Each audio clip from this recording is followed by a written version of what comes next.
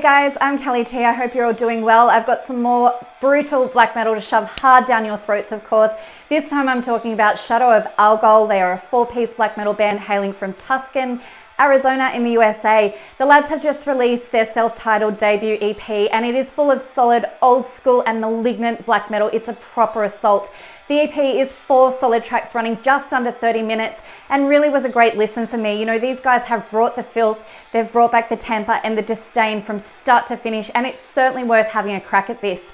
The boys have done a great job with this EP, cramming in loads of ungodly ambience with haunting atmospheric moments of intros with sounds of Mother Nature and eerie hymns, as heard in the opening track, Exhaling the Ashes. This is such a riff driven track, you know, pure second wave sounds, reminiscent to the aggression of Gorgoroth. The vocal delivery is such a powerhouse of growls and graveling screams, maximum blasts, double kicks, and a dark density that just evolves with every listen. Lupine Epithesis is an unrelenting experience, that's for sure. There's manic riffs going on here, such heavy blasts, and just a brooding mid-paced tempo with bursts of full throttle energy throughout as well. And this one just smashed me hard in the chest. You know, I felt completely weighted down by this track.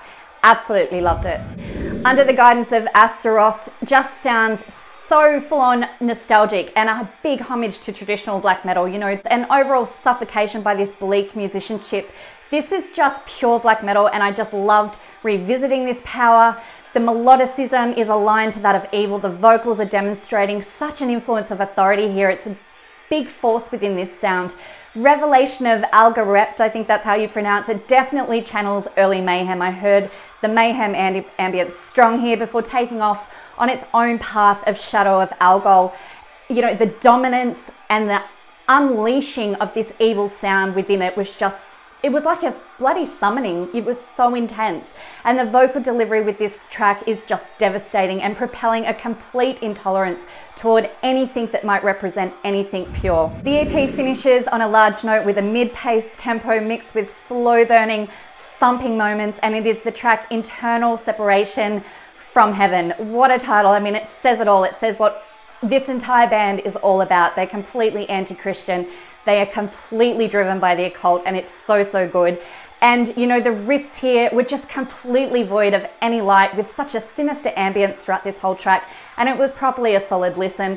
The EP took me back to the roots of black metal. You know, while this might not be showing anything completely innovative here, the boys have just been able to pour in such a huge amount of power within this EP and it just resembles the signs of the left-hand path and that relentless originality of black metal, its original design, you know, and they've just held this up so high here.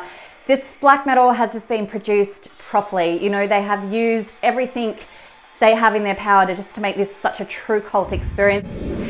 What's not to like here, guys? If you like black metal, wicked, wicked black metal vocals, huge, unyielding riffs, massive drum tracks, and overall deadly production, you know, it's killer from start to finish. The lads have come out cracking with the start to their recording days, and I really can't wait to hear more from them.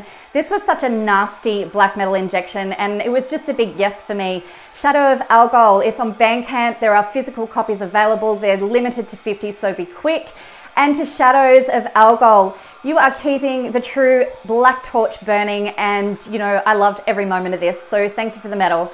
I'm Kelly Tee. This has been my black metal reviews.